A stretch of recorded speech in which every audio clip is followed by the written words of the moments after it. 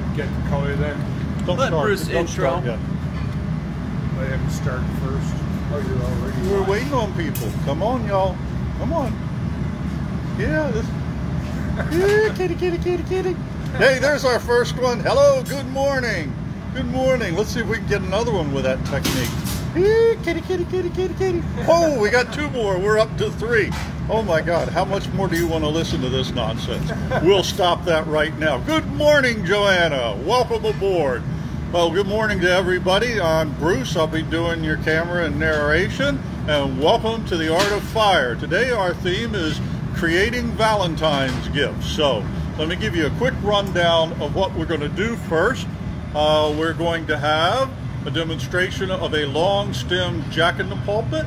We'll have a multicolor basket, a cake dish, and a heart. Good morning, Matthew. Hello, David Hogan. He got the meow. Okay, we got the meow mix working. Let me give you a quick view of some of the things you'll see. And there's a few things up here you might not see. But at any rate, this is the jack in the pulpit right here.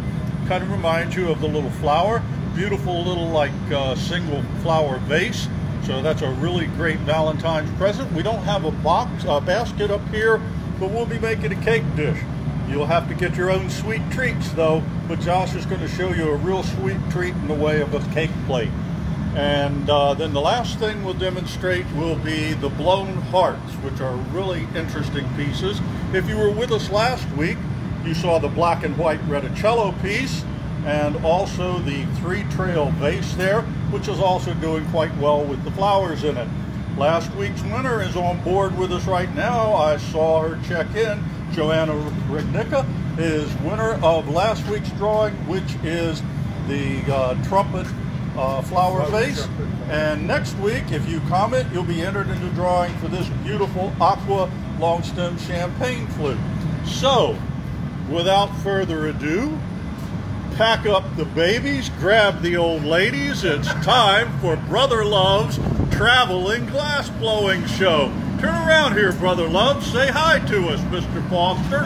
Hey. Hey, good Hey, morning, good morning. buddy. Yeah, Okay. to the traveling glass blower show. Okay. All right. Hey, we got Colin from uh, Eastbourne, England. Wonderful. We're really picking up an international following here, aren't we? Where are we?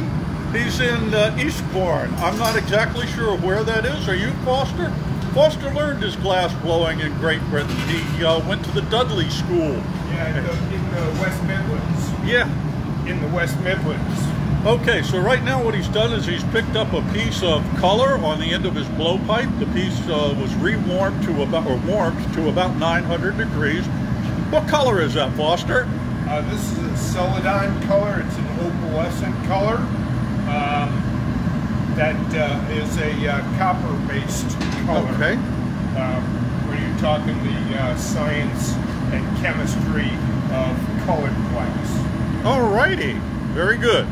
So the glass was about 900 degrees when Foster picked it up out of the annealing oven, and his pipe was preheated to at least the same temperature, maybe a little bit more, and then allowed the two pieces to stick together. And now he's melting the color on the end of the blowpipe, and once it gets a little bit soft and malleable, he'll take it over the marver and shape it up. Okay. They watched season two of Blown Away last night. Yeah, that's a great show, Now, folks. Bruce, don't spoil it like you did last week. Yeah. Don't give away a La- spoiler. last week I gave away the results of a football game, which was really, really a bad move on my part. Okay, so Foster now has pressurized the air in the blowpipe. The bubble is expanding on the end. You can see it taking on a more rounded shape. There we go. Good. All right. Okie doke. So now with the Celadon color inflated a little bit, there's a little bit of air inside. He'll go back and gather again from the furnace. Our furnace holds about 400 degree, uh, 400 pounds of 2,000 degree molten glass, and it's clear glass. Uh, were we to melt color, then we'd be stuck making that color all week. Good morning, Patrick. Welcome aboard. And Patricia from Ellicott City. Okay. Alrighty. Here comes Foster with his first gather of glass on the end of the blowpipe. He'll use the cherry wood block to shape it. This does a couple of things. It kind of stabilizes or sets up the outside surface of the glass and gives him a nice rounded shape. This prepares the shape for blowing. The shape we use uh, really has a big effect on how the glass blows out. And there you saw the steam rising up from the block. That's simply because the water was heated. It creates that bed of steam and the glass rolls smoothly. A quick blast of air and he's got the color inflated inside the bubble. Welcome, man. Well, we're happy to have you uh, here to see today's creation. For those of you who joined us in the last couple of moments, Foster is making a long stem jack in the pulpit. Okay? So, he's going to back for another gather. He waits a little bit uh, between gathers for the glass to cool. He doesn't want the extreme heat of the next gather to make it collapse. If he went in too soon, then he'd have to be reestablishing the bubble and getting things right. Kate asked how long do the wooden tools last?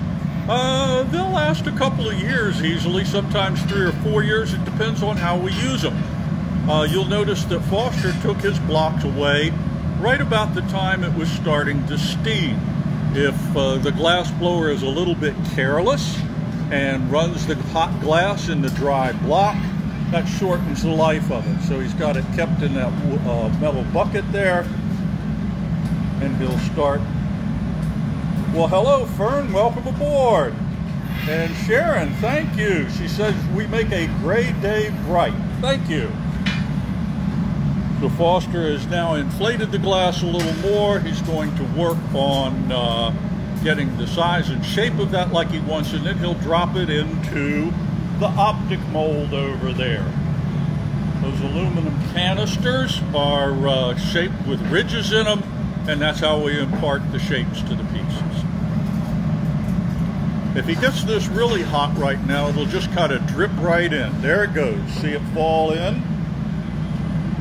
And then he'll blow with the pressurized air pushing out against the piece.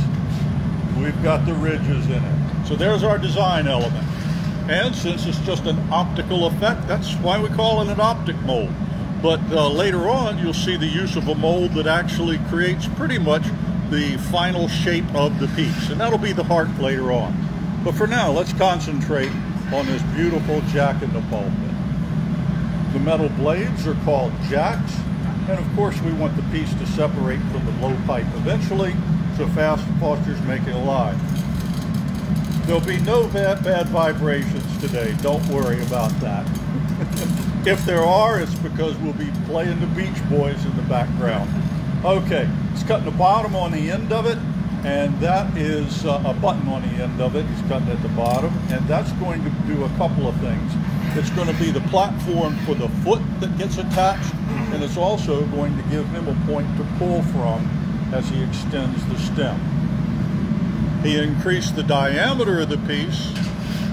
Now he's going to heat it up and then he'll probably spin it out a little bit using that uh, patented propeller move. Did you ever have a hat with a propeller like Beany and Cecil Foster? Uh, okay. Yeah, maybe as, as a kid I did. not, not since I started blowing glass. Though. Here he goes with his propeller move the Beany and Cecil of glass blowing. Okay, so now you can see that lengthened the piece. He's going to reinforce the jack line at the top so we get a good break there. And now watch how he uses the blades to pull out. He's not squeezing hard. He's not making it a lot smaller in diameter. He's using that button to pull against. He'll get his calipers to check the length. If he needs any more, he'll pull it but here comes his paper pegs, which is a sure sign that he's got what he wants. They steal less heat than the uh, metal blades of the jacks, and it's also a signal to Josh that it's time to step in, take the piece for a flash while Foster gathers for the foot. So there's the handoff to Josh, and he'll go back over for the flash heats. He only puts it in the glory hole for a few seconds at a time, He's trying to keep the temperature well above a thousand degrees. If we get down below that, or especially in a range of 900, the piece tends to crack and break. So his job is to every few seconds give it a short flash, establish a nice core of heat, and then here comes Foster with the glass for the foot. Foster is going to pass behind Josh, who will immediately turn toward the bench. Foster will cut a jack line into the glass. This is to help it flow off the pipe. Josh raises it to vertical.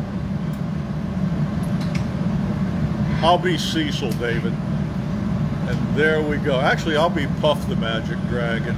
Okay, there we go. He cuts that off. Josh keeps the piece centered so the glass doesn't droop.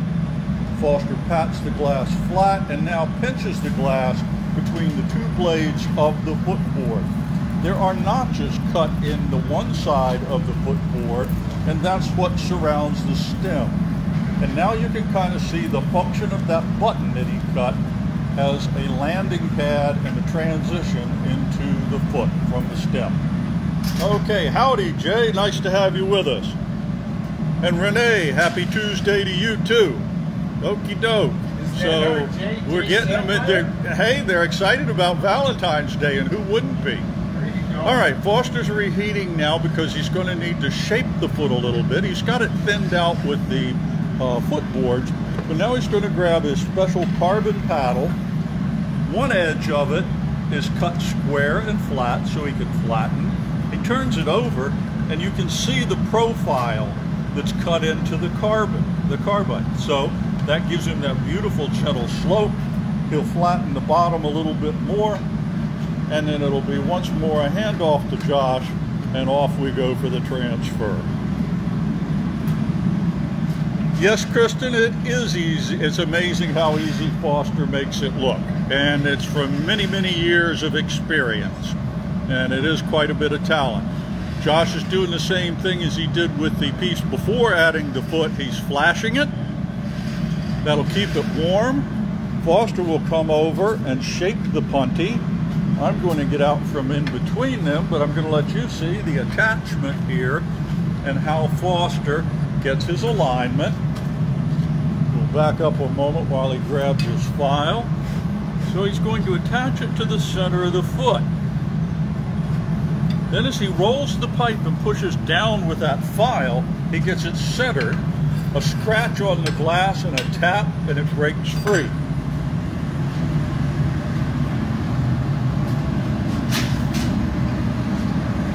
So he hasn't put the piece all the way up in there yet. You can see it's still kind of moving around a little bit on the punty joint. But he has to get that upper portion back into the heat right away. The uh, glass that he has at the tip there was cold enough to fracture and break off of the blowpipe so it's absolutely essential that it get it reheated to manipulate. That little move he did just then, bringing the piece out and onto the yoke that he has, that was to help center it. The punty was a little bit off center in the transit, so he wanted to straighten that out. Does anyone, anybody watch the Netflix glass blowing competition show? Yep, uh, I imagine a lot of people on here uh, have watched The Blown Away, which has uh, started season two. So, uh, did you watch any, Bruce? Have you watched any of Blown Away? I have not watched this season. I prefer to watch. I, I like to uh, watch the whole thing at once. So, what's well, all up? What's that? It's all up. All all the episodes are up. Yeah, oh, I thought they were just doing one at a time. No, I no, had not paid any attention. Okay, so looks like I can binge watch tonight for some time. All right, so now Foster has got the heat concentrated in the tip or the lip. You can see the orange glow up there. And then he comes with the steam cone. Another piece of wood soaked in water in contact with hot glass creates steam. And just like the little engine that could, the inflation causes the motion. There we go. Hey, that's the basic principle of a steam engine. And for those of you from the UK, Hats off to James Watt. Okay, so anyway, what was that? oh man, oh. too much coffee this morning. Okay, so Foster has inflated a little bit. He's going to need a little bit more inflation there to get things going. I'm going to straighten the foot out. Okay, Marion, welcome. Right now he's just making sure that it's all centered up with the central axis of the piece. That's why he's using the paddle on the back side by the foot. So just uh, small details like that make a huge difference. The paper pegs keep from stealing the heat. And he's going to go reheat now. So that trip to the bench was basically just to get everything centered and in a nice straight line. Uh, I happen to believe that with glass blowing, keeping the glass centered is probably the most difficult skill. Definitely harder than blowing. When the glass is hot, uh, most anybody can blow glass. But uh, getting folks to learn to center the glass is really difficult. And if you think of centering as an even distribution of the material around the central axis of the piece, that's what we try to do. Oh wow, Jen Johnson watched all of them last night, all the shows. Okay, here we go with more heat in the top, and now Foster's going to give us some more inflation. Have you talked to Janet Yellen, the new Secretary Treasurer, about this inflation business, Foster? okay, here we go. He's going to open the lid. Good one, Bruce. Michael Herman, welcome aboard. Everybody say hi, Michael. Let's give Michael a quick view of Theta. He hasn't seen her in a while. Say hello, Michael. Hey, Michael. There we go. And if you, the rest of you are wondering why we go nuts when Michael checks in, it's because he worked with us here for many years and we have very pleasant memories.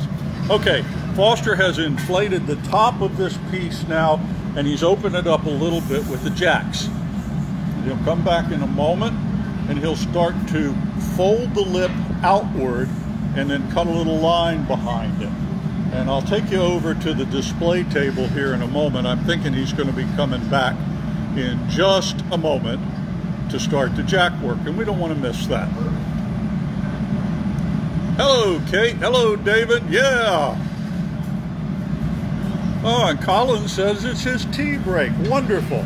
Okay, so now you'll see Foster take the jack blades and he folds the lip downward. He's working on the lower side. Then the jacks straddle the glass and create a constriction. So this smaller aperture is what will be used as a flower base. You'll probably get a little more heat and flatten that lip. And while he does that, we'll give you a, a view of what's coming on this piece. So, this is a long stem jack in the pulpit right here. This entire area is what's now flattened perpendicular to the piece. One side of the disc will be flattened toward the body, the other side will be flattened upward and then pulled with the tweezers or pincers. So it might take a couple of heats to do that, but we'll take a look because here he comes back to the bench. All right, so first thing he's going to do is flatten that edge. It got a little bit rippled because of the extreme heat. And here he goes with the fold upward and a fold downward to make contact with the body and then he'll take it back to the glory hole and reheat.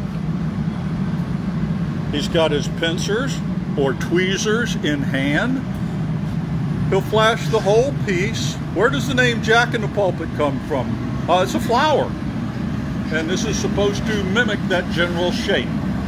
Okay, so now he's heating the upper portion of the piece, and that little bit that he folded upward is going to be the hottest He'll grab it with his tweezers and pull gently. When you pull glass, you pull it kind of gently at first because you don't want it to string out too much. And he accidentally tapped it, and there it is. Yeah. Okay, So, hey, it's a, it happens. Jack in the pulpit floor model. Okay, the floor model. Okay. Special discounts. Alrighty. so, so here's what the Jack in the Pulpits look hmm. like. But if you'd like to see one made to its completion, check in on our YouTube ta- channel. Oh no, not the horror, Matthew. It happens, okay? That's part of glass blowing. But just about 30 minutes ago, Foster made a perfect one. It's in the annealer right now. And what we've been doing is a very short YouTube presentation on YouTube Live a half hour before we start this. Uh, sort of an uh, aperitif, if you will, something to stimulate your appetite before the real show. So anyway, uh, check out the YouTube channel for Art of Fire, and you'll see the piece made in its entirety. And these are a couple more right here. And you can see how with a rose in it, it would make a perfect Valentine's gift. All right, so uh, remember to comment. If you comment, that's how you get entered into drawings. And people commented on this beautiful trumpet vase here.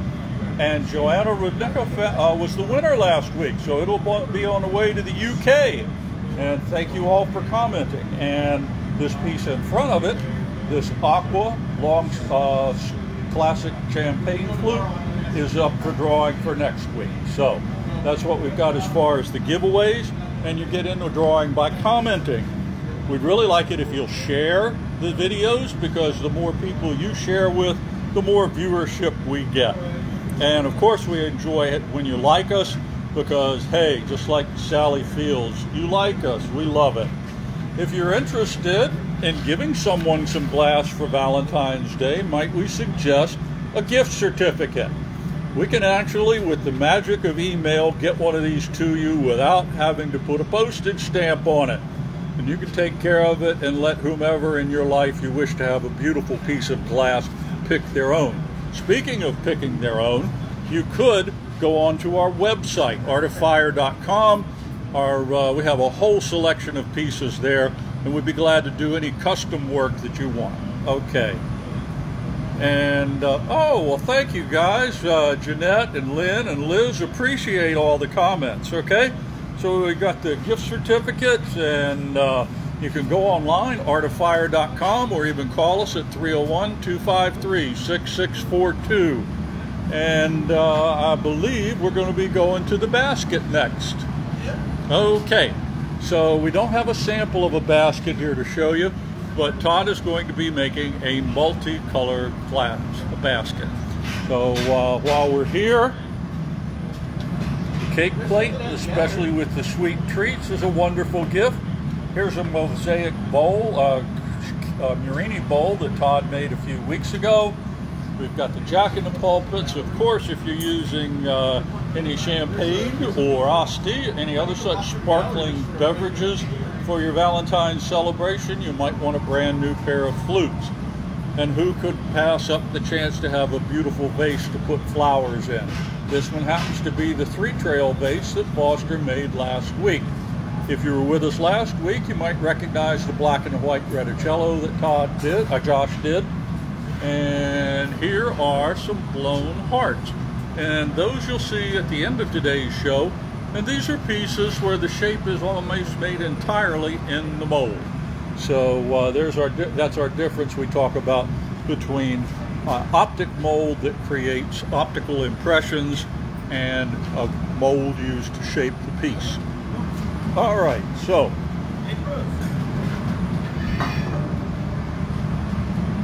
A couple more Fiesta bowls. Uh, baskets. What's Those that? are the baskets. Baskets. Oh, okay.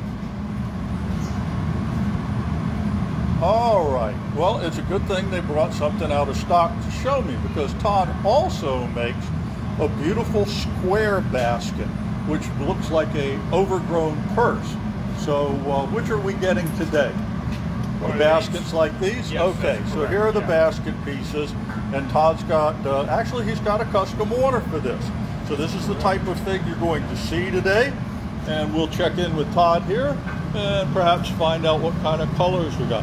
What kind of colors are these, Todd? Multi-color? Uh, it's a multicolor. It's a, uh, I called it kind of a springtime multi. It's pinks and greens and golds. Okay. There's no blue or purple in it. Um, probably one of like the second or third color mixes I ever kind of tinkered with. But we're gonna do a uh, background of white on the next gather. And then we'll pick up uh, some more clear over that, and then put this multicolor green, pink, Oh, okay. combination. There's the special mix of the multicolor frit. All right. That'll be on the most outer surface. Then we're going to do some things to treat it with uh, some pop the golds and that sort of thing, and uh, that'll give it a little more texture. Okay, wonderful.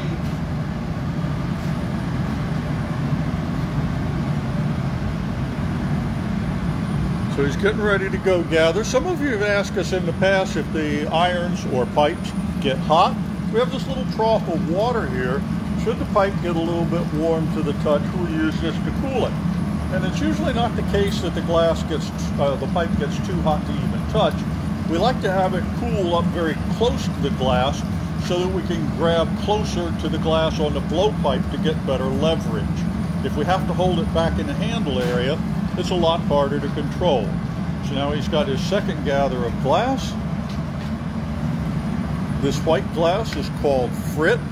It's granular glass. When the manufacturers make their pot full of white glass, some of it they sell as bar stock, rolled into long tubes of solid glass, and some of it they grind up, and we can get different grinds. As soon as he's done with this gather, we'll come over a little bit closer. That's very hot still, but you can kind of get an idea of how fine a grain that is. However, his mixture of the multiple colors is a lot bigger grain. So we can buy these in a variety of sizes depending on the application. So we get the frit from other places. We've got the, it would be hard to pick what I would get. How about one of each? I love your thought process there, Susan.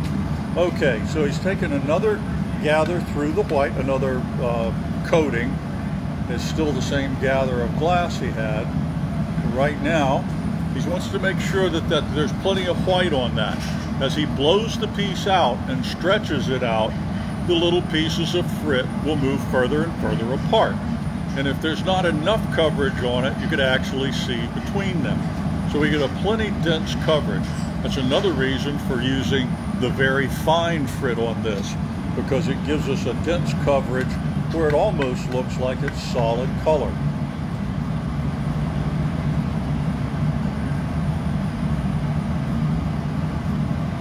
There he goes with the white.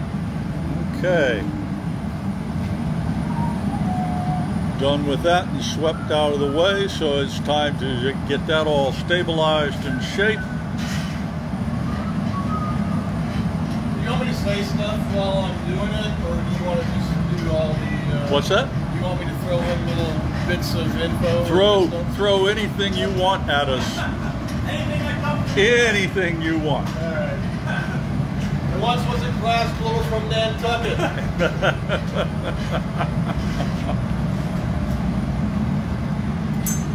So he's got that gas glass gathered up now, and he's going to use the marver to shape and chill it gently. If he, good morning, Rachel, and good morning, Antoinette. What are you making? Well, I could use the answer that Foster gives and say glass, but that would be a little bit disrespectful. Now, I'm teasing.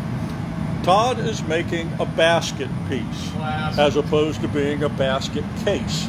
So he's going to marver this out, inflate it a little bit, and we'll show you a sample of what he's making. Not get Okay. too far into ourselves.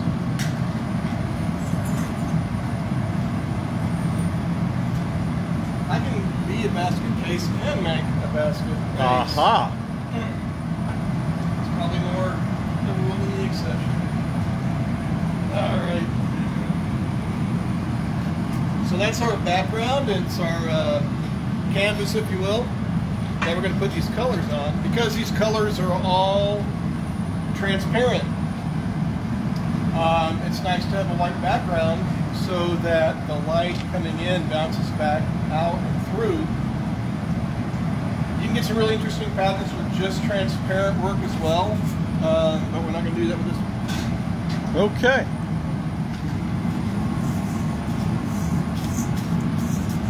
He's moving the glass around a little bit in the bowl to get it into the position he wants. He's going to let that cool. And so some of you joined us just a moment ago. And I'll show you what the basket piece looks like that he's making. So these are examples of what Todd is about to make. You can see the white interior and the transparent colors are really vibrant because the light goes through the transparent color, reflects back off the white, and to your eye. Todd has now gathered from the furnace with the next uh, bit of clear glass and he'll come on over and start picking up the frit.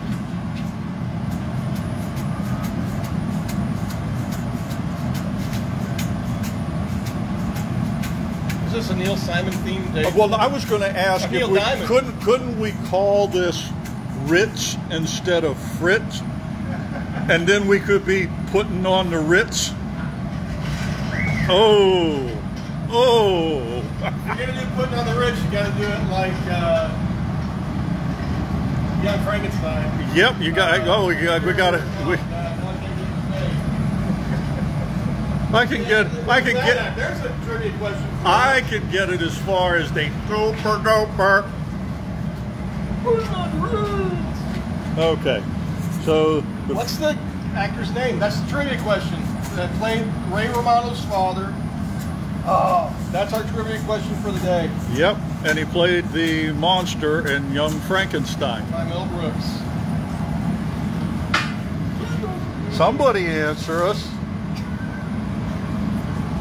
Okay, so Todd's got his color picked up now, and it's time to start. Peter Boyle, that's right, Bill O'Donnell, wonderful. And we got Barbara Spitzer coming in with Peter Boyle. Okie doke, yep.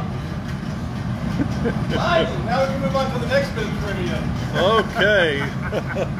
Let's shall get our brains locked up around this time. So after getting the frit picked up, Todd's going to take those little dots of color and stretch them into lines. And the way he's going to do that is turning the pipe in one direction while he's on the Marver.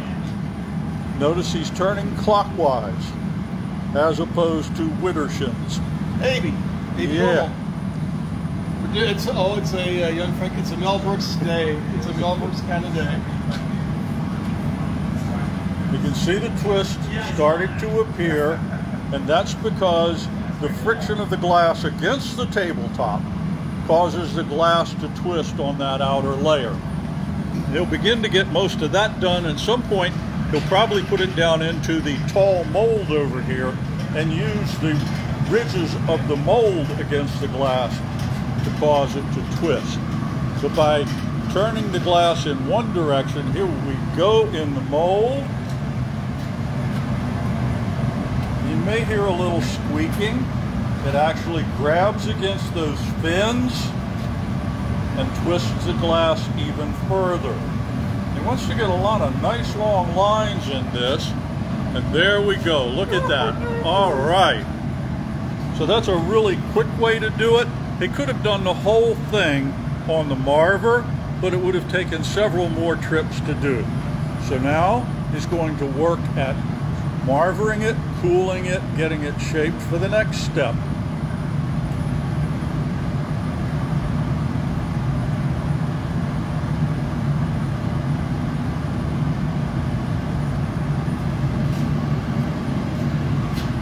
which is going to be to go into this optic mold here, but without twisting it. He'll blow into that, it will put ridges into it, and then he'll twist those to get what we call a really good fishnet pattern. So now he's got pretty much vertical lines running around the piece. And by putting it into the optic mold and making horizontal ridges in a moment, he'll be able to get that to go. He took a quick check a moment ago to make sure it would go in there. And he's just marvering this down for a little more reduction in the diameter. Welcome aboard, Barbara. We're in the process of, uh, or Todd's in the process of making us a basket. When he goes for this reheat, I'll show you all another sample, a look at what it is he's making. So, this over here with the kind of curly pattern in it, this fishnet type pattern, is what he's making. That's a basket shape. So, by twisting in the large fin mold, he created the striations. Now he's going, but he was not blowing. Now he's going to actually blow into the optic mold and the outward pressure of the glass against the sides of the mold will form the ridges. This is how they make Ruffles potato chips.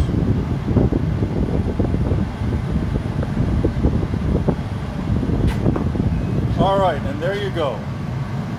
All righty, so now he's got those but they're forming lines along the central axis of the piece. So what he'll do next is twist those up.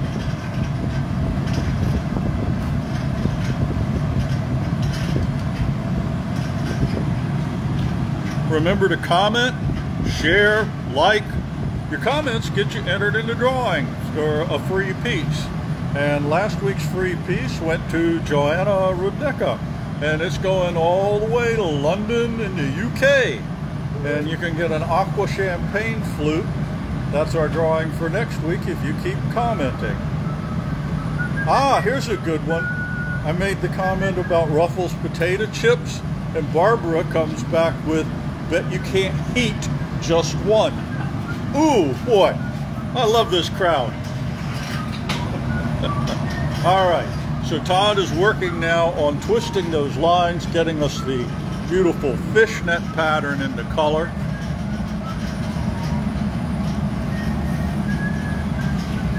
You can see the motion in the glass there.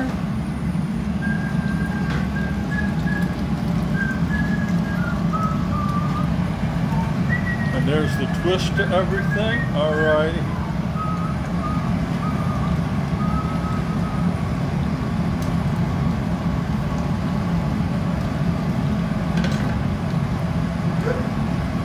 See that glass moving all around? That's because of the extreme heat that's still up in the in the neck of it.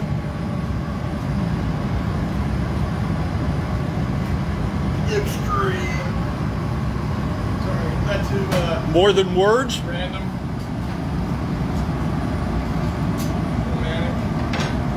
Extreme? Extreme. Just the way I said it. And he fooled me. He, he, did, he didn't put the twist in the, uh, the optic ridges. Not on this one. Okay. The other pieces had that, but hey, this is a custom order for someone who wants it done specifically.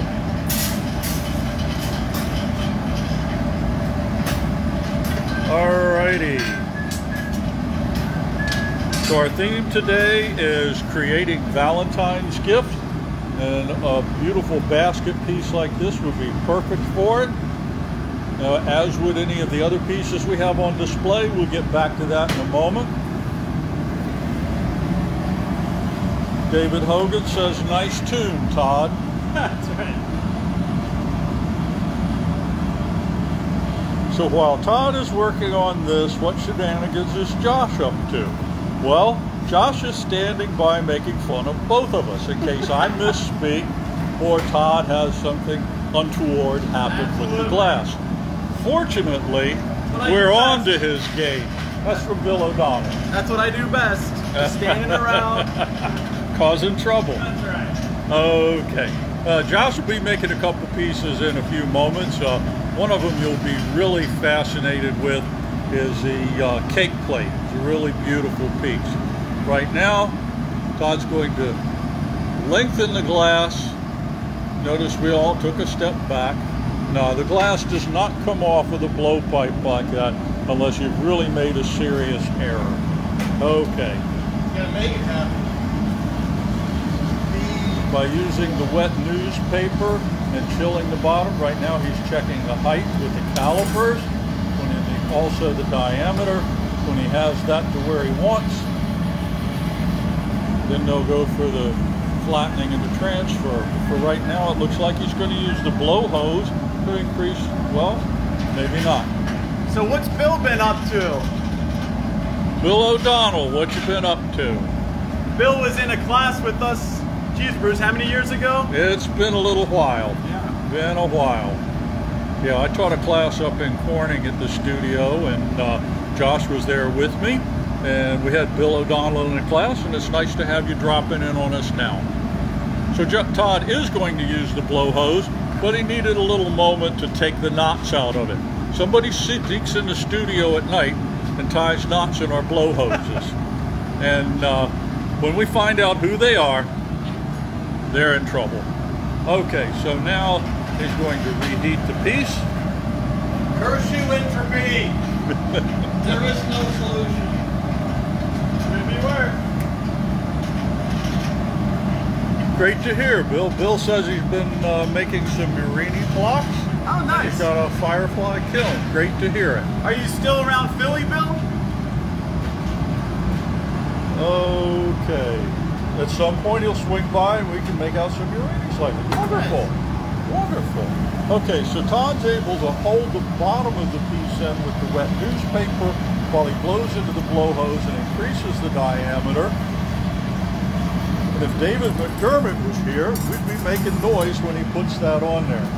Uh, David McDermott is another glass blower we know from up in Massachusetts, and his thing was you should hear the calipers touch the side of the glass or else you didn't make it right.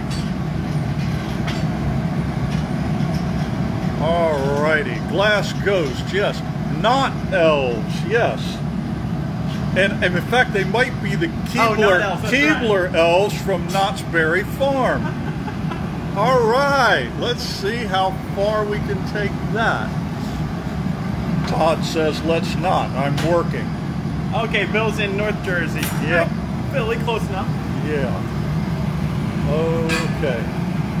So it's important to get this diameter like he wants, and he'll get the length.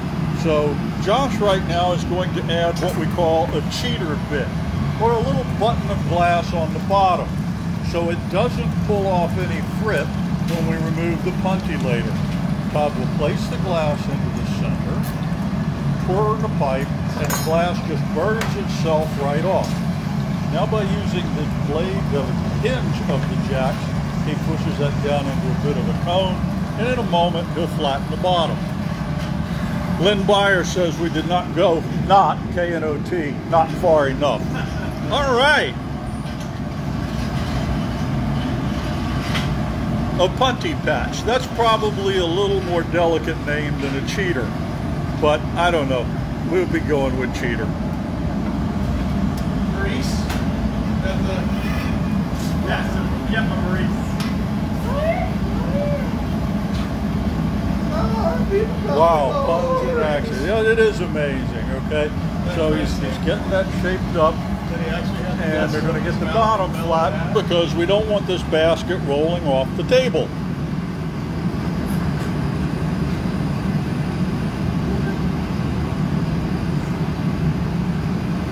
Bill says it's only cheating if folks can tell. There you go. Oh, okay. My adult son has said since he was a teenager, it's not a lie if I believe it. I think he heard that on Seinfeld or something at one point, but we'll let that fly. Okay, so Todd now is working the piece.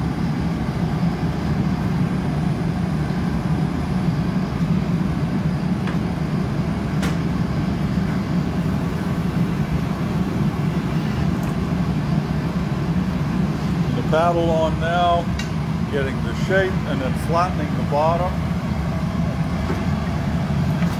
Josh is getting started over here on making the punty. Notice there's only a little bit of glass off the end of that pipe. We don't want a really long punty on here because if it got hot, it'd be like a long finger just like wiggling around and it would be really difficult to control. Let's get a close-up of that. Yeah, so you can see there's not much glass off the end of that pipe. Todd is again, how heavy is that piece? About three, four pounds? I'd say four pounds. Four pounds? Good morning, Jerry. Good to see you. Ah, okay, with Ruth. Okay, very good. Here comes Todd with flattening the bottom a little bit more. Notice he goes on at an angle with the paddle first. That's so as to not collapse the entire profile at the bottom. And once he gets that little button pressed in a little bit,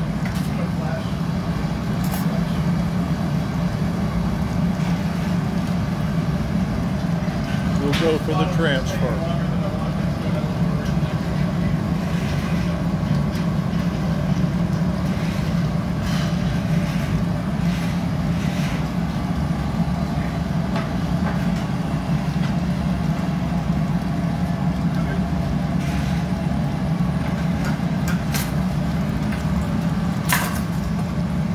Put a little indentation down at the bottom so that when the punty comes off, that that glass is not exposed to a tabletop or anything. Okay, so Josh has signaled that he's ready for the transfer. A little water on the neck and off it comes, just as easy as you please. Yeah, the, the uh, transfer is a very exciting part, but we'd really like to make them as dull and boring as possible.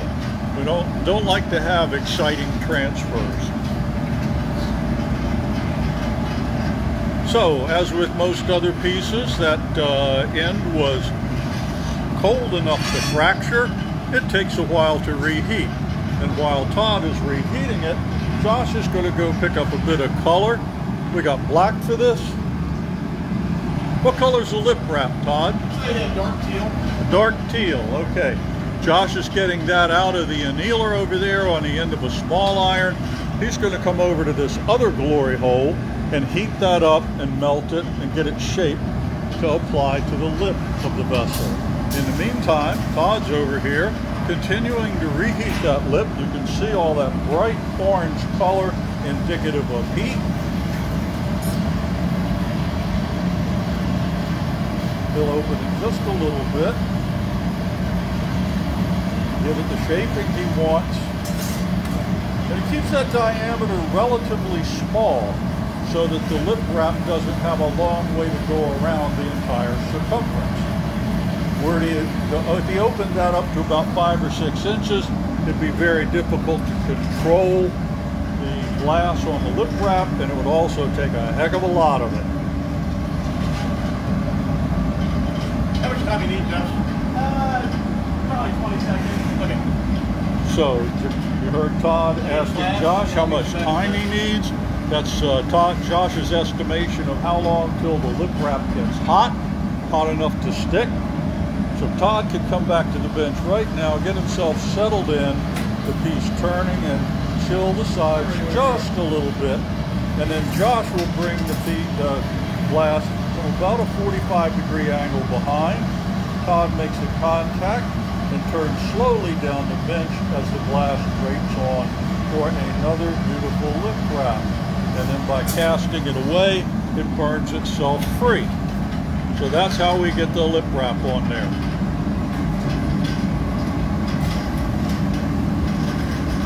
So now all those elements are in place. It's going to be time here in just a moment to start opening the vessel.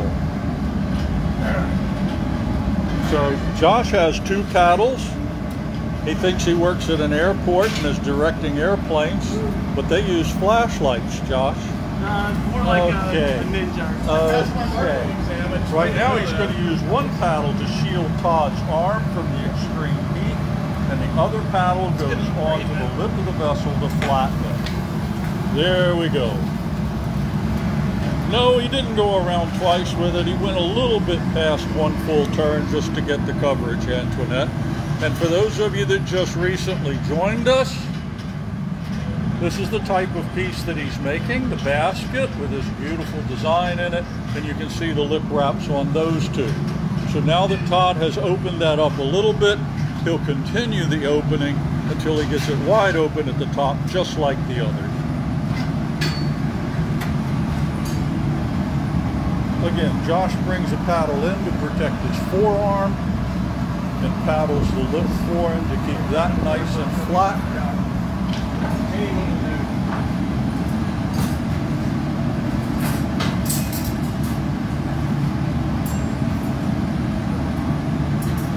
Josh has brought him over the wooden jacks. Uh, they have wood blades and uh, they steal a lot less heat. Plus, they're a much larger diameter than the metal blades. So you can open it, you don't scratch the surfaces. It gives you a little more opening power. Yep, that's what the Parchoffi's for, Bill. This piece is big enough to require them, believe me. Okay, so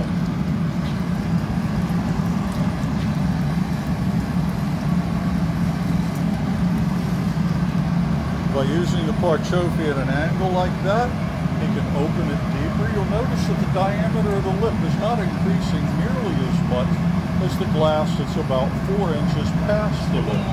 And that's by design.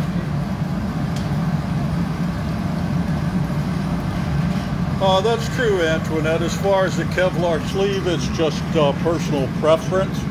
And uh, we have some uh,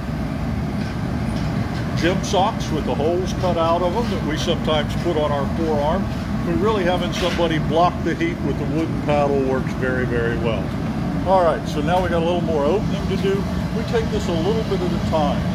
Notice the extreme upward angle of the jacks that he started with, and that's what opens it deeper into piece. If he started with the jacks horizontal and began to lift, then he would just open the lip mainly and he wouldn't have that beautiful profile. Check something. This was a custom order. The name is slipping my mind for a second.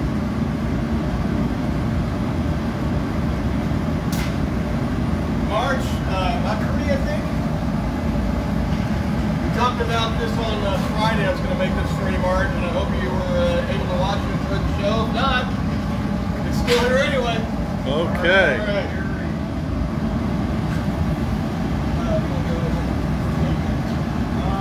Josh has got the insulated gloves on.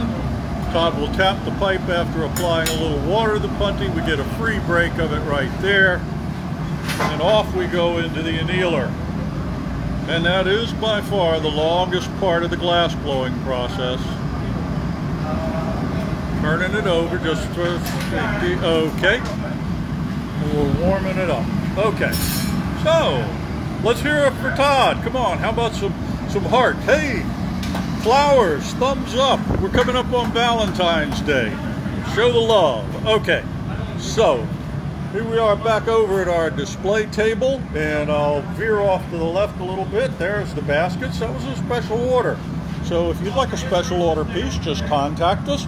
You can uh, you can contact us at artoffire.com. Go into our catalog, pick any of the pieces in there you see that you may want. Yeah.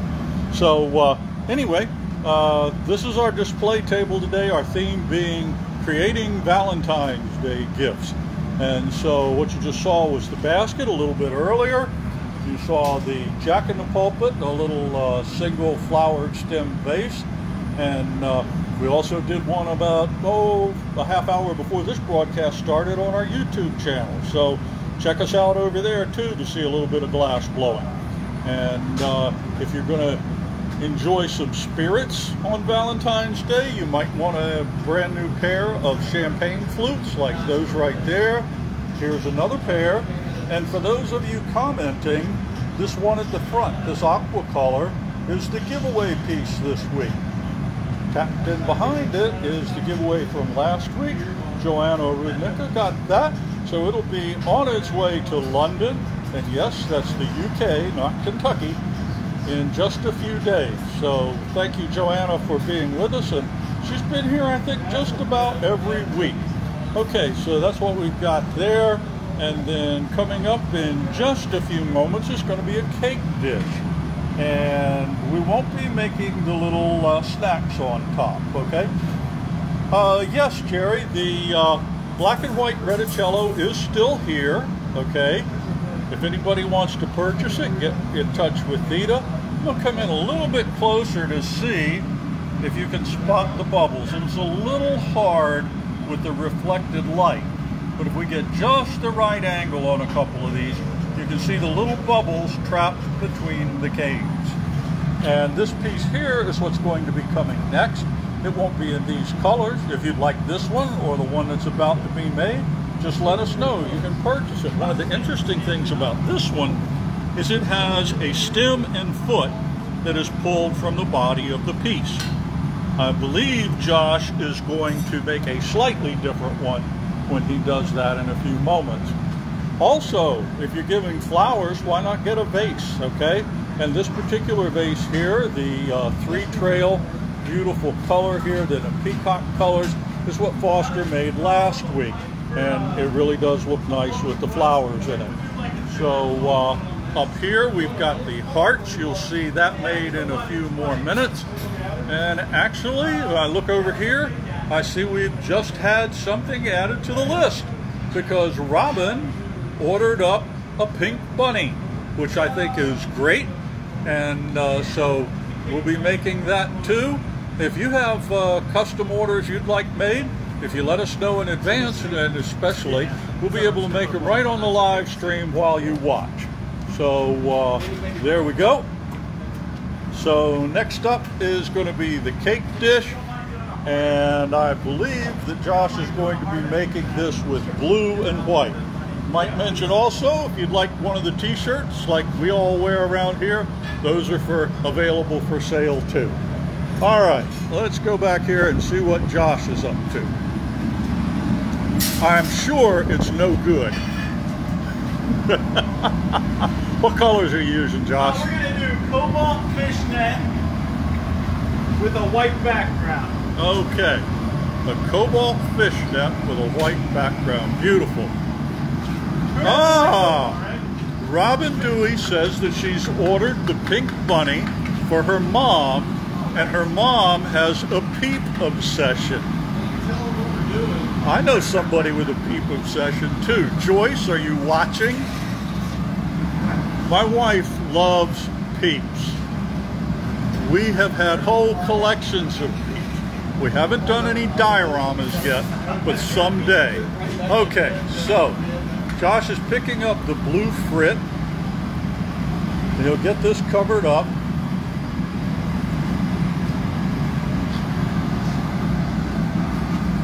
Because who doesn't like cobalt, right? Everybody loves blue.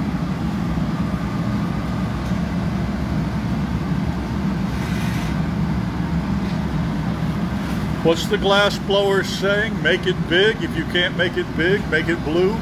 Yeah. well, Joanna, this is the third time she said love that color. But what I really love is the way she spells color with the O-U-R from the UK. I'm just like, oh yeah, yeah, that is, that is slick. Okay, so uh, that it for your blue pickup, Josh, or going again? No, that's good for the blue. So now I'm ready for the, the optic.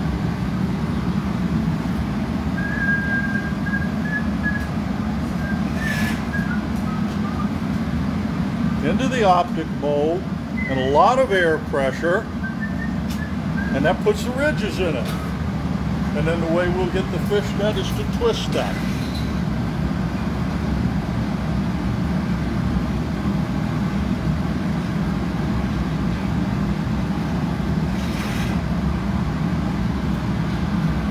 By leaving the iron in one spot or nearly one spot but turning in only one direction, you see the twists appearing. Now the glass near the pipe twists the most. You get a real tight twist in that. It's a little harder to get the twist in the outboard section. So have you, uh, have you taken Joyce to the peep show? There's a, Oh, that's a loaded question. Right. Oh my gosh. Oh my gosh. so in Carroll County every year they do a peep show around Easter. Okay. And um, they've designed, you know, using the marshmallow peeps. Yes. And you can enter into the contest. I I can't wait to see where David Hogan goes That's with right. that. Thank you, Josh. now, actually, uh, when our son got married, we presented her with an entire platter of peeps. No. Oh yeah. Yeah. The lady loves her peeps. Okay.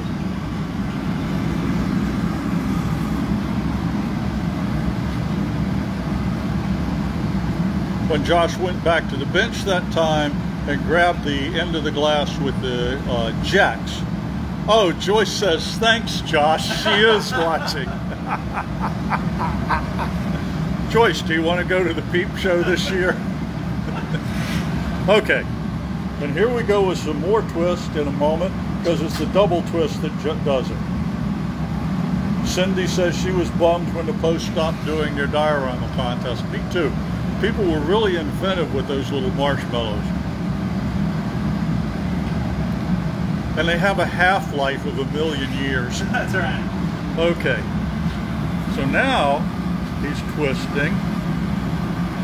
And which direction are you twisting now? Widdershins, yes. yeah. He went the first time clockwise and the second time Your choice, anti-clockwise, Widdershins, or if it's really too much to deal with, counterclockwise. And you can see how the two directions of twist are overlapping in there. That's what you get when you're ice fishing and you have to go on two.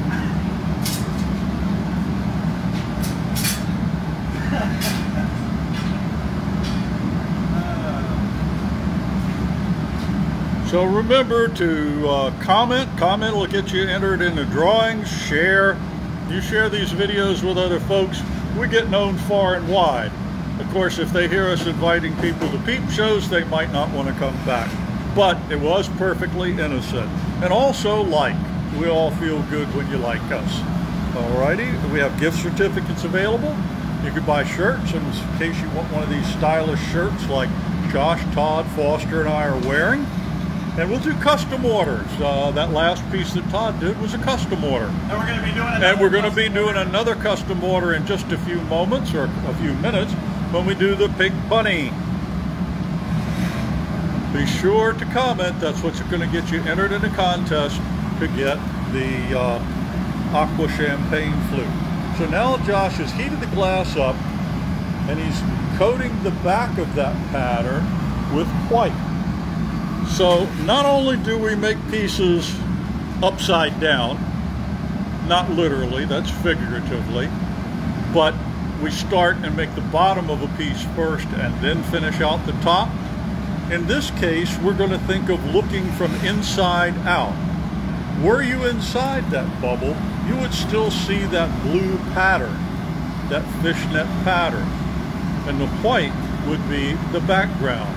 So imagine this eventually put onto a punty and opened up and flared out. The white will be on the bottom of the plate. The blue, which is on the inside of the bubble right now, would be exposed and brought out to the top surface of the cake plate. There's going to get a lot of white on here to make a really nice background to look through. And you'll see that blue again in its prominence when he opens the plate up all the way. Thank you, Jonathan. We appreciate that. Jonathan said it is always amazing what we do. Thank you. We're quite often amazed at what we do.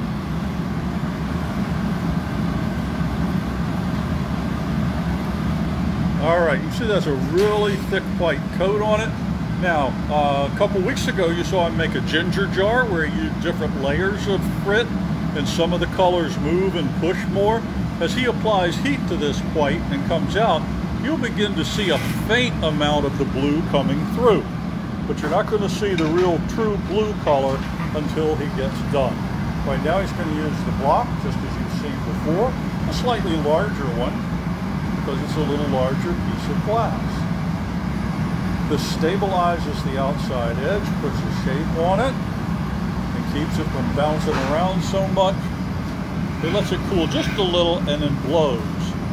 By trapping the air in the blowpipe, it's forced out in, and you can actually see the blue pattern below the white. That's where the white has fallen in the creases. Do another piece of paper? Uh, nah, let's go with it. Okay. Live dangerously. Yeah, okay. So I asked him if he wanted another piece of paper because this one's got a portion of it missing and it's kind of unfolded, but he's going to need this paper to shape the glass. So we'll put a little water on it because it does get very, very stiff when it's just sitting around for a couple of days without being used. Yeah. Okay. Yeah, remember that. right? All right, so next will be a gather over this to give us a little more body to work with. And uh, Josh is going to actually push the glass off of this to form the stem, aren't you? Yes. Okay. So that's what he'll use the newspaper for at some point, probably very soon in the process. He's pointing the pipe downward to let some glass trail off. He's got a good sized gather on there, but now watch how he works this with the newspaper. By grabbing it up close to the pipe and pushing his hand toward the tip of the piece, he's forcing the clear glass off the end.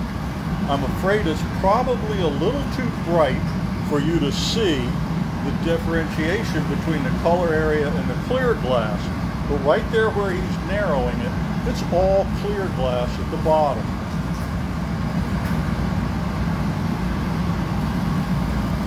He's pinching that glass with his uh, thumb and finger, and that's what's creating the constriction. Now his jacks will begin to get the neckline in. If he needs a little more heat there, he'll go back to the glory hole, but he's actually cutting a nice jack line in there and has the tapered shape of the foot.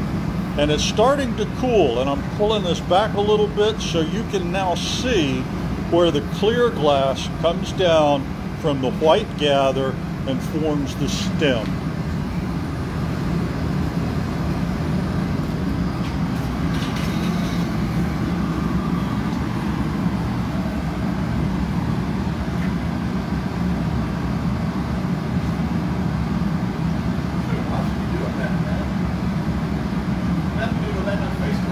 Yes, Jerry. His his jacks did need some wax. That was that sound.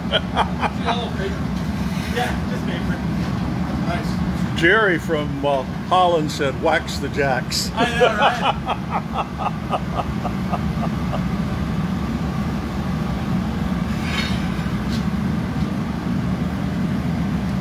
Right now he's blowing, and that's inflating the gather a little bit.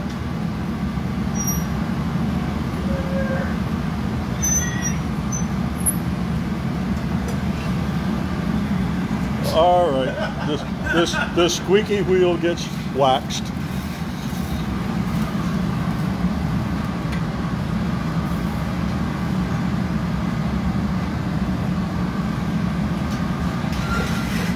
So the tricky part is now I have this long finger of glass,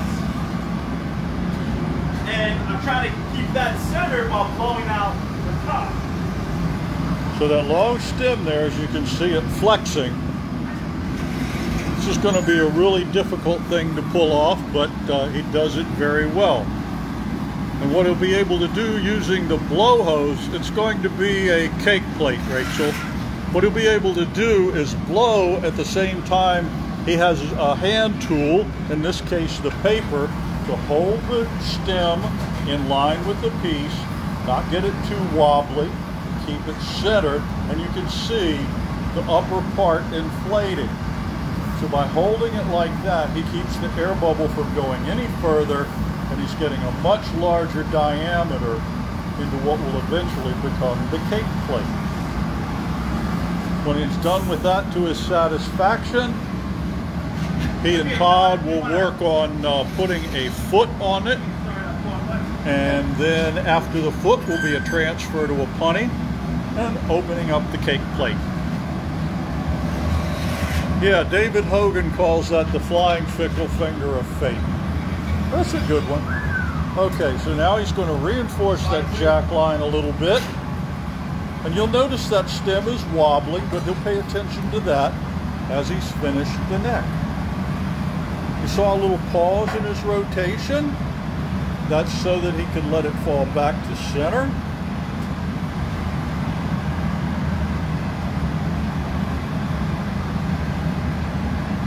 And now he's got it all lined up again.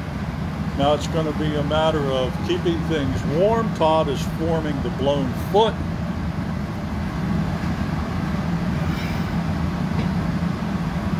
That'd be pretty good. Not put a neck in that. You hear Josh talking to Todd, telling him, you know, about the timing and whatnot. So Todd's going for a quick reheat of the foot. Josh has enough heat in the piece that it's not going to crack. Yes, it does look almost cartoonish at this phase. But Todd's going to bring this over. Josh will ask him to blow when he makes contact. That inflates the foot a little bit. Josh lifts it and cuts. Now, that bubble that's on the end is what will become the foot. Josh will give the whole thing a flash.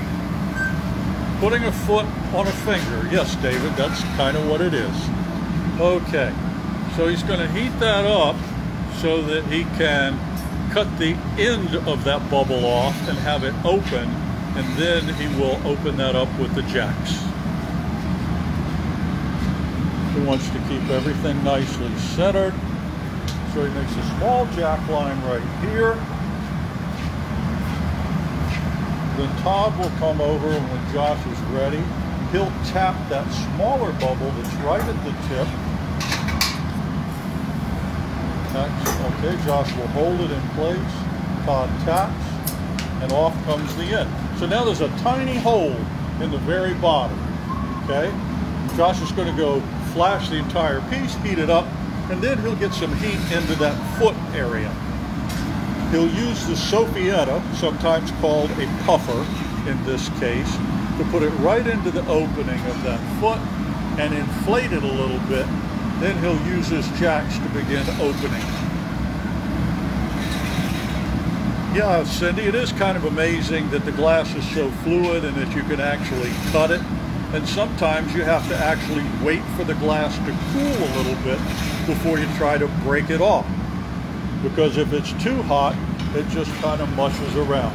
So now the soffietta into the opening, watch the foot inflate.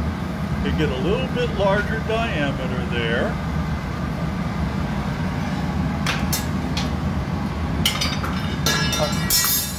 He's going to take a flask. Todd's going to put the jacks back on the bench. You're going to do a folded foot? Yeah, we do a folded lip. Okay, So so you've seen Foster do spud feet, you know, where he uses the two footboards. So this is just a little different way of doing feet. I just wanted to show you folks. So he's going to fold the lip on that foot to give it a little extra layer of glass at the point it contacts the table. So we'll watch him do that here in just a moment. Back to the bench he comes. By pushing in and down, you can see a double thickness forming right in that last quarter inch. He'll start to work on the profile. You can see it's wobbly because of the heat, but they'll take care of that. So right now, back for a little more heat. The key here is not to overheat it, and it's just really the Goldilocks art. Not too hot, not too cold, just right. And so if the glass is a little too hot when he's trying to manipulate it, difficult to control, you just pause for a moment. If it's too cold, you go back and reheat. So now that he's got the foot flared out some, he'll start using the jacks to shape. And when he wants, he'll ask Todd to put the paddle on and get a nice contour to that.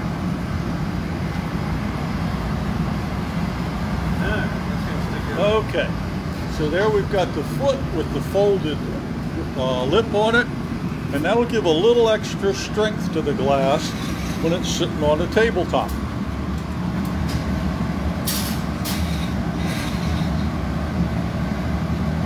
Couple flashes on Josh's part, and Todd comes to the marver. Again, just a small amount of glass on the tip of an iron. Josh will make sure it's nice and flat.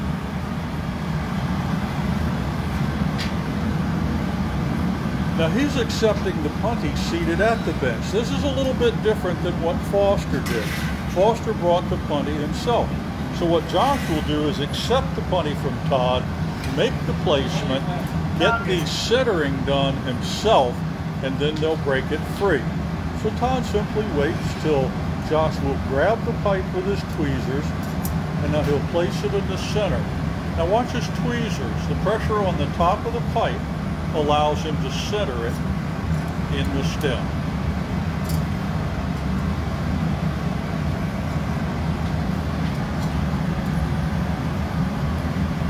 Once he's got it centered and knows that Todd's got it under control, a little scratch with the tweezers, a tap, and it comes free. And there we go, another successful transfer. You can see that it's wobbling a lot. That's because of the extreme heat in the punty. So Todd just goes in with that for a moment. But just like all the other descriptions, the end of that was cold enough to fracture. It's going to take a while to reheat and bring it back. So you'll see Josh heating primarily the top of the vessel and occasionally flashing the piece by putting the whole thing in the heat. because of the size and the mass of this glass, he's probably going to take some pretty frequent flashes just to make sure that things keep warm. You also notice he's only in there for a few moments because if he takes a lot of flashes but leaves a great deal of exposure to the heat, the whole thing will get hot and sloppy. Hey, Don, did you grab the?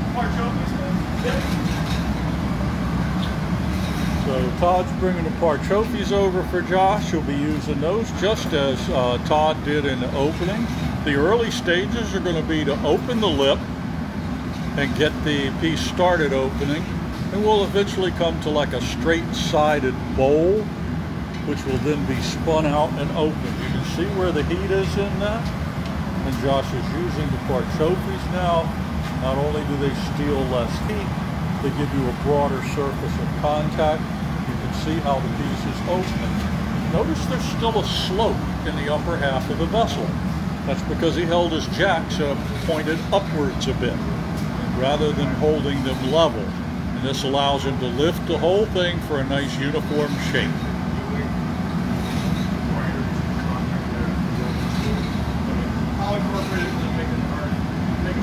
So uh, Todd is returning the favor and serving as uh, Josh's Kevlar sleeve.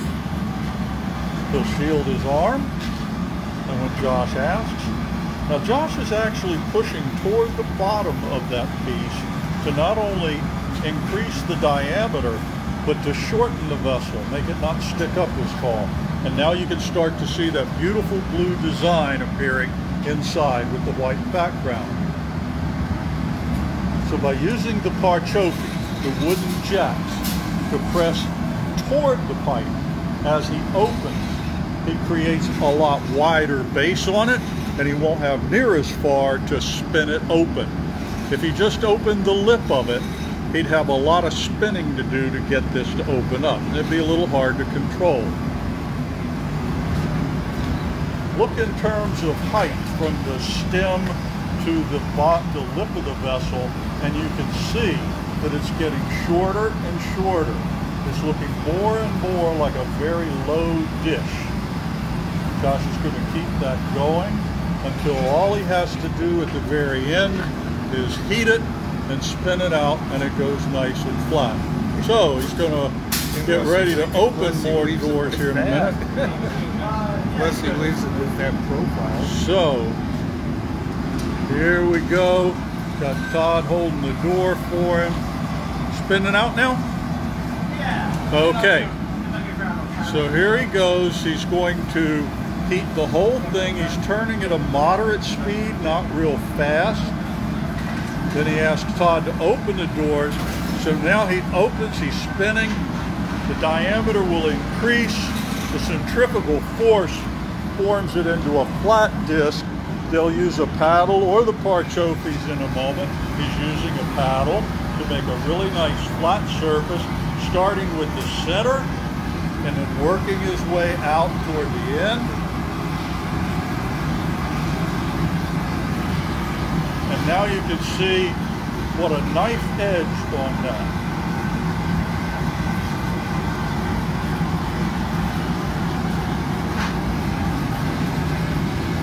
Beautiful.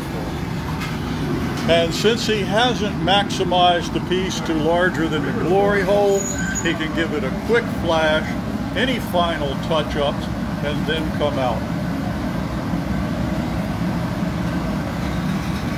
I'll answer your question in just a moment, Jessica. There's that beautiful fishnet blue pattern on the top of the plate. We'll come around from behind and watch it flattened and shaped with the paddle. And if we get a real nice side view right here, you can see it's razor thin. All right, a little drop of water into the joint between the punty and the foot. Todd takes it and off to the annealer we go.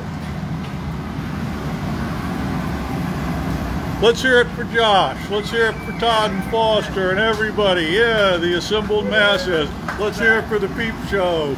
Yeah. Okay, hey Foster, what's the diameter of the glory hole? Biggest. Biggest diameter. Oh, those are 14.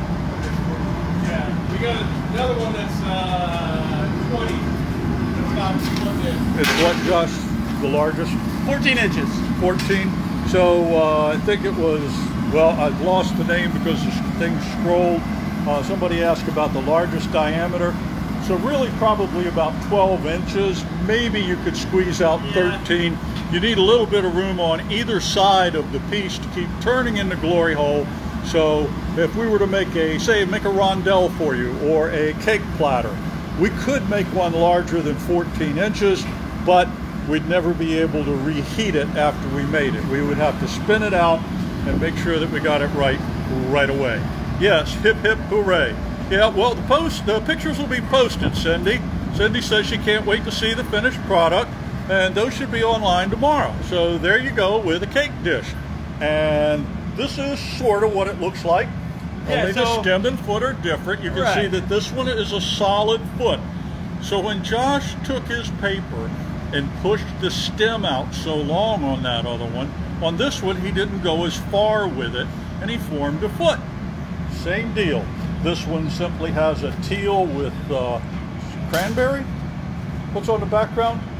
Uh, it's raspberry. Raspberry. Pink raspberry. So it's got uh, raspberry backing on it underneath the teal. So that one could be yours. Uh, the one he just made could be yours. You don't get the cupcakes, know. though. No, uh-uh. Okie doke. All right, so there's the cake plate.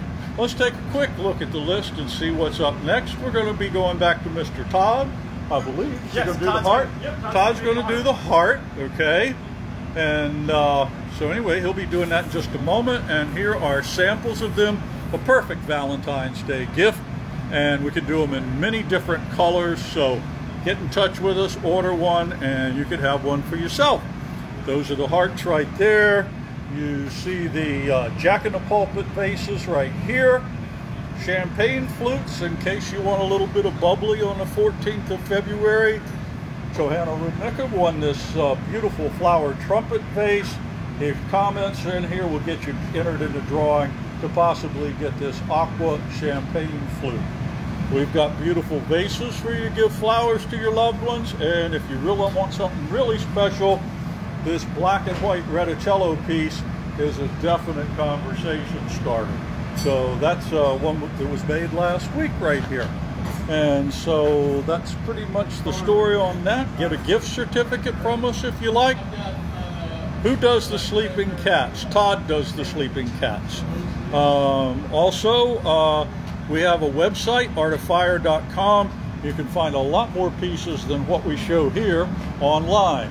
Here's a, a sample of the basket pieces that Todd just made. Uh, he made one in different colors, but there's our basket piece. And uh, oh yeah, from last, I guess it was it last week? Yeah, last week with the platter. There's the platter with the multicolor pattern inside of it. So all of these, so anything here would make a really great gift. Todd's getting set up for the heart. And uh, what we have is a special wooden mold. And uh, Josh is going to pick it up open it up for us. So the blowpipe goes down in through here, and the glass is blown out against the mold while the two pieces are held tightly together. So the glass is not turned, it is not rotated, it's simply blown out against that, and that gives us the bulk of the heart shape, okay?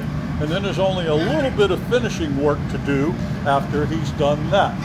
But it does have to be transferred to a punty, and because the heart is typically narrow toward the bottom, let's go over and take a look at a couple. Now you can kind of see why we had the mold maker make the heart upside down in the mold. This is the part that gets blown out in the lower portion of the mold. This is the part that sticks up toward the blowpipe. When it comes out of the mold, that will be straight, and then Todd will apply heat and use his tweezers to curl it around. Up, and he'll do that after he has placed a punty onto the heart, and then the hook goes in where the punty comes off. So,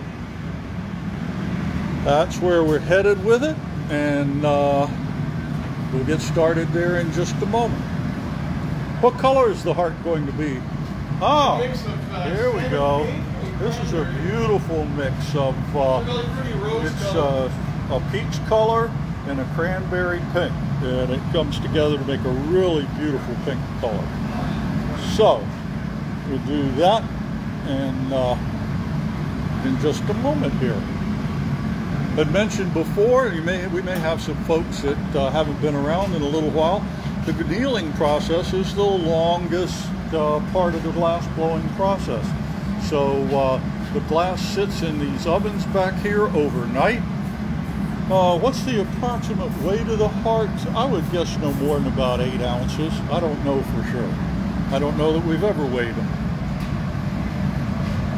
Our feed keeps Okay. stopping, so uh, I don't know what to tell you about that, Kimberly. We're not getting any indications of that right here.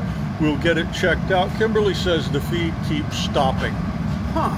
Okay, so I guess there was a question about the foot that I had made for Josh's piece. This is basically the same process. So uh, the only difference is we're going to add a little color to it. We're going to pick this rose mix. It's cranberry, sand, and pink. It's a really pretty light rose color. We're going to swirl this a little bit and blow it out.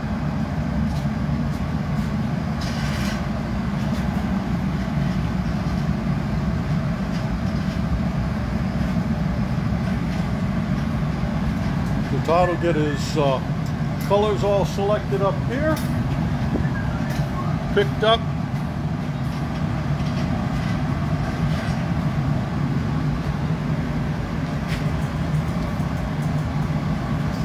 Notice again, turning one direction on the marver, the friction against the tabletop causes those single dots of color to stretch out into lines.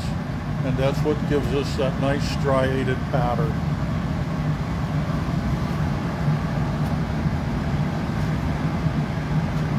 Blows the bubble out into it to get started. And another jack line again. This is for a point of separation. Now what we have to do when we use these kind of molds is to make sure that we get the glass pre-shaped to where it will fit in the mold where we want it to. We need to have enough mass of glass in that area where it needs to expand a lot. So that's pretty much what Todd did right there to make the blown foot for my cake dish. Oh, okay. He just had a blown piece cut a neckline. Except for it was clear glass. This one has color, but same exact thing. Some clear glass, blew it out, and cut a neckline. And that's basically the setup for a lot of our pieces.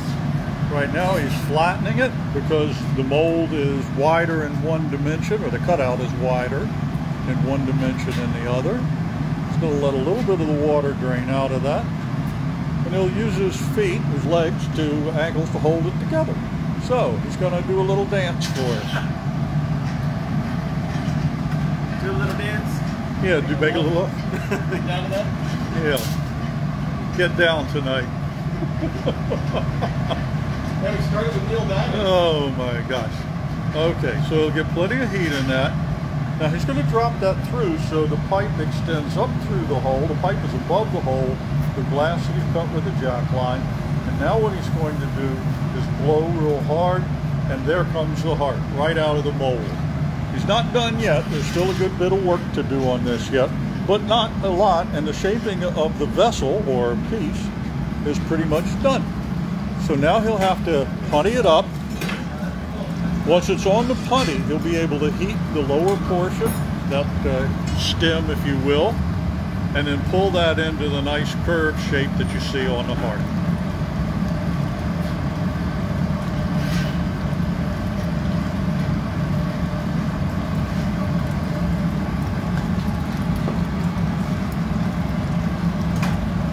With a much smaller, delicate piece, we don't need as much of a punty, as much of a big piece of glass. We also need that to come off in a few moments. So, Bob puts a little water on it, a droplet, and taps it free. And now we've got the heart shape. Uh, we have that hole at the bottom, and this is going to need to be heated, pulled out, and then curled a little bit. Nice thing is it can't see it on camera. Yeah, I'm glad we should keep the resolution down. They are pretty, Cheryl. Do this in eight millimeter and then develop But uh, we can we can make lots of these in many many different colors. So uh, don't don't bother with the candy that says "Be mine." Order a heart for Valentine's Day. You can appreciate it long after the candy is gone. I was going to pull this out for a little bit of length there, got a double chin. and then he's going to pull it to a curve. We're about to get out of hand here. Surgery for the hole in the heart. About two. About to. Yeah, this thing got We, we lost it when? August 25th? Uh, Okay. So now what he's going to do is using yeah, the tweezers, August 25th, pull it out some, and then that will be broken off. And now you can see that beautiful taper down toward the bottom.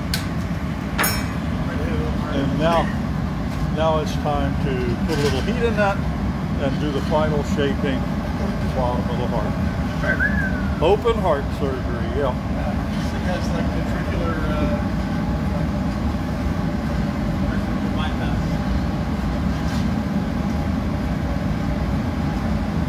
ventricular atrophy. All right, you can see the heat at the tip of the heart there, and that's where the pull's going to come from by gripping his tweezers, which we conveniently waxed. No.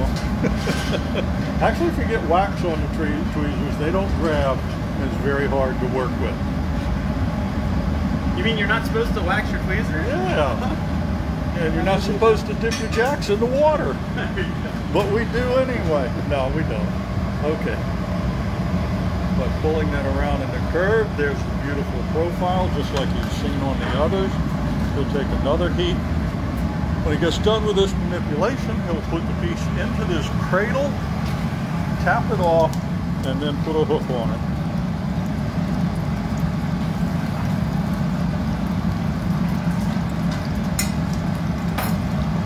Delicate punty just broke right off. He'll use the same iron to go over, gather up a little bit of glass on the end of an iron. He'll place that onto the point where the punty was. You'll never know it was there. So how long can you let it sit in that cradle before it'll crack? I don't know. You want to see? Let's ask him. Now he's probably got oh a minute or so. We don't waste any time getting the glass back over here and putting it on. Find other ways to waste time. But we also we also make sure that there's plenty of heat in it before we tap it off. And there he goes, another beautiful heart. All right, let's hear it for Todd. All right, thank you. Okay, and let's hear it for Josh and all the side comments and all the other nonsense we're providing today. Ah, hey, this is a fun one. Okay, so let's come on back over here and see what we got. Ah, we're going to have a special request, a custom ordered piece made right before your very eyes, Robin. And that's going to be a bunny in pink, which she has told us is for her mother, who is just wild about peeps. And if Joyce Ferguson is still watching, yes, we'll make some peeps for you too. Ah, okay, so there's a heart you just saw made. This is not the same pink color, but you can see how all those steps led to this beautiful creation. We can also do them in uh, other mixes of colors. So whatever floats your boat, fits your imagination, we could probably do that. We've got all kinds of pieces here for Valentine's Day, but let's get Biddy Z on a bunny peep. So Josh is going to make this one. So just a solid pipe or solid iron, not blowing iron.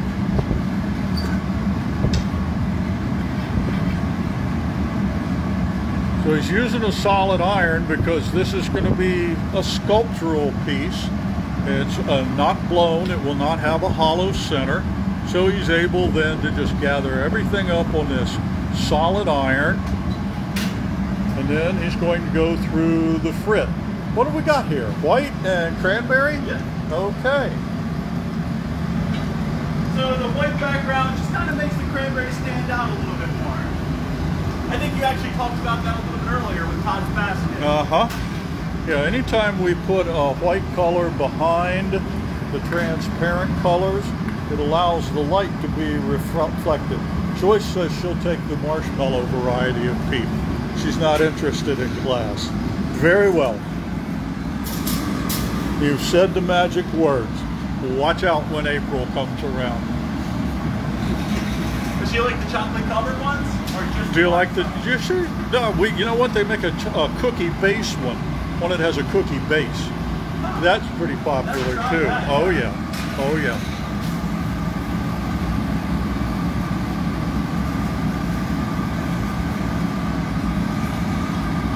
No, the matte colors or opaque colors or even translucent colors, uh, we can we can do that too. It's uh, it's just a matter in what you choose. Lots of times the uh, pieces too, um, we really want a lot of uh, bright colors, eye candy, if you will, and that, that really helps with a lot of the transparents. But uh, the opaques get that same kind of look. And as Theta just responded to you also, uh, they can be sandblasted to give kind of a, a dulled finish, if you would, something that removes the shine from the glass. But uh, most folks, I think, really prefer something that just jumps.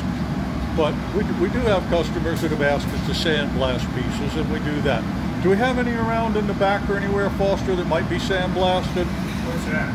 Sandblasted pieces or partially sandblasted? Somebody'd ask a, call, a question about a matte finish, and Theta suggested maybe something sandblasted. Right now, Josh has got the uh, cranberry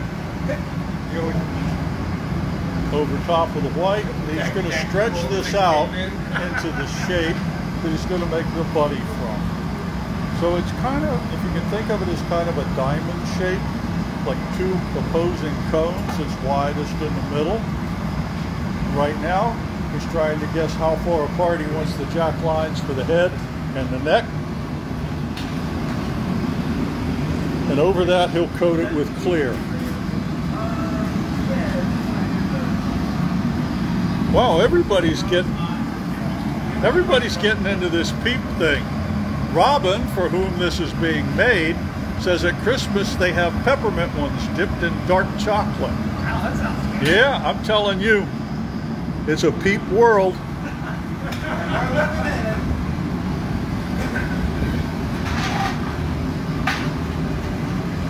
And me, I'm just here hanging with my peeps. Ow.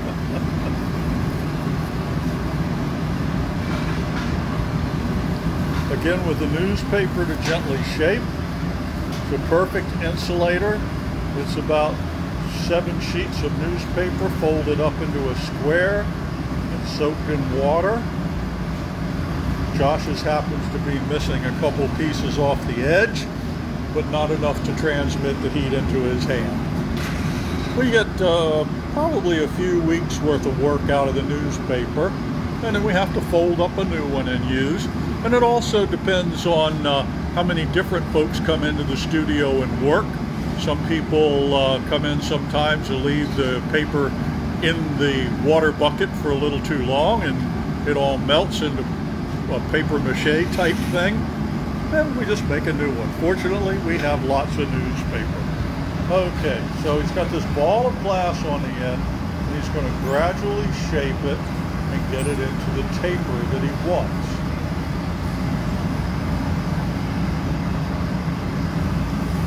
In a few moments, he'll be using the jacks, number one, to create a point of separation from the blowpipe.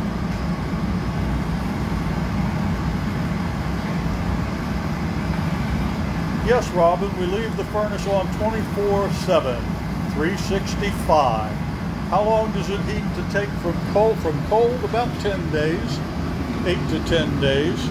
Actually, when we have a completely cold furnace that's been repaired, we do the initial heat uh, with an incandescent bulb stuck inside the box so that it doesn't heat up too fast. It would help out dry up any mortar that was in there. You can also use a uh, what they call a, a hot dog heater, uh, a little wire thing that has an electric current running through it. But you begin at just uh, a very easy temperature and you keep it going up a couple hundred degrees. When you finally light it, you can't even come anywhere close to working temperature. But we'll get back to that in a minute. You'll notice how Josh has created the taper for the body. And this is the point where the bunny's chubby little body will separate from his head. and that's going to be the top of his head where his ears get separated. So there we are with the jack lines. Takes three of them, one to separate from the pipe, one to separate the body from the head, and the other one, the leftover at the end right there, is what he'll shear and then use to make the ears. So he's got the divisions made, and he's going to get ready. So the first step in making the ears is going to be get sufficient heat and then flatten that last ball of glass. Once he flattens that last ball of glass, he'll be able to take some very good sized shears and separate them by cutting right down the center. Yes, Joanna, it, uh, it does take quite a while to reheat. It also takes quite a while for the heat to come down. We can't just kill the heat in the furnace and let it drop from 2,000 degrees to room temperature on its own. Here comes the flattening. That's where the ears will be. He's using the jacks to create just a little tighter line in it. And now he's going to squish shear right down the middle. And that's going to separate the two pieces of the ear.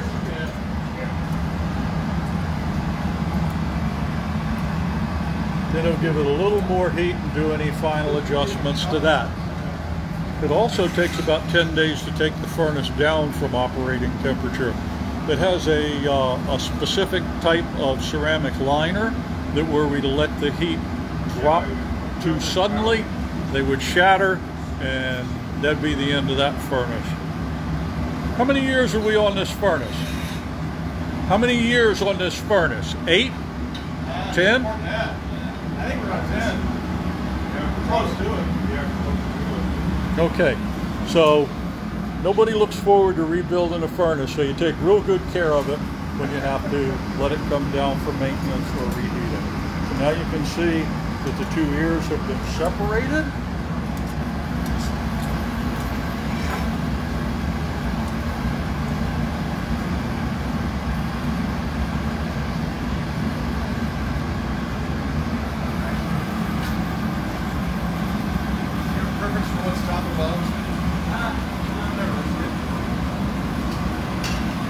Can we put a bow tie on them and make like the tuxedo look? Is this your idea, uh, Bruce, or is this a question? I just came up with it. Figured, okay. like I always say, we don't need no idea men around here, Bruce. All right, so Todd has a piece. He'll keep flashing it occasionally. Josh is going to heat the stringer of black glass, and what he'll do is uh, put the eyes on it, the nose, and he's got a bigger black stringer for the tail. So, Same thing's not round. Stupid glass.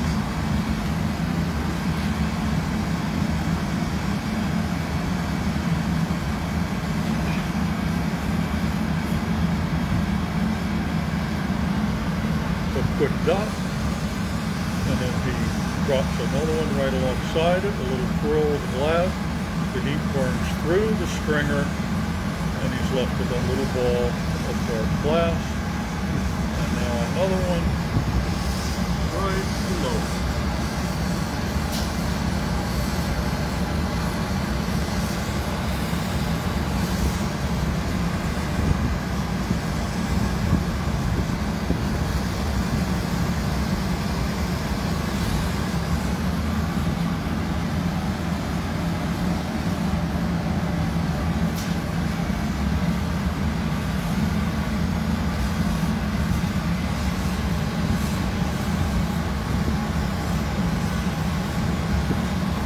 Alrighty, so he's got that on there.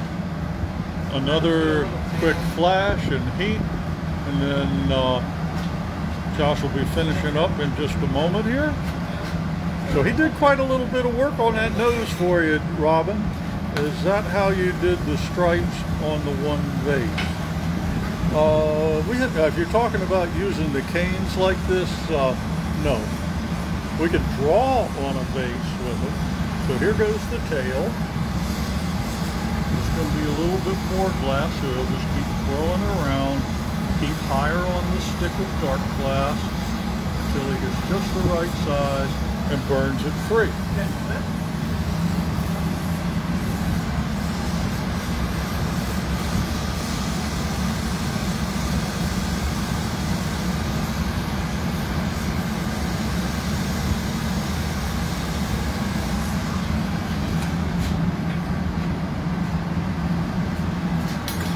Then, and there we go. So now it's time to work on getting this off. Well, we we could we could probably get some white glass for a cottontail Suzanne, but uh, this is a little easier to deal with. Alrighty. If Josh has any final adjustments, like if maybe the ears moved a little or anything, he takes care of that. And there you go. Robin, there's your bunny. She is going to love it. We hope you do too. All righty. It is cute. All right, so now what it's going to take is a little bit of water on the joint near the pipe. Todd's got the insulated gloves. They'll tap it free. Todd will put that away. After it is fully annealed and comes out, the bottom will be ground flat. So let's hear it for Josh. Let's hear it for everybody, huh? Nice show today, guys. Wonderful. Okay, so that's pretty much it for what we've got to do. Come on down here and take a look and see if we can't convince you to place an order with us. So today we had the uh, long stem jack in the pulpit. Here's three samples right here. More in our catalog online at artoffire.com. Check us out. If there's a particular color you want, let us know. Uh, we also saw the multicolored basket, which Todd did. This was a special order for someone that wanted to give it as a gift. All right. We had the cake plate, cake dish, which Josh made. This is a slightly different one, but uh, same principle, different color decoration. And then Todd made us a beautiful hanging heart. And then Josh just made the bunny pig for Robin as a special order. If you'd like to have something made on our broadcast, get in touch with us. It'd be best if you did it maybe by two or three days ahead of a broadcast, but as happened today, we had the time and Robin wanted a piece, so we made it. So any of this you see here or in our catalog is available for sale, and don't forget, we've got lots of different colors. Every one of you that has commented today will be entered in the drawing for this beautiful aqua champagne flute. And congratulations again to Joanna who won the uh, trumpet vase there, the flower shape. And so from the Art of Fire, this is Bruce. Y'all have a great week. See you next time.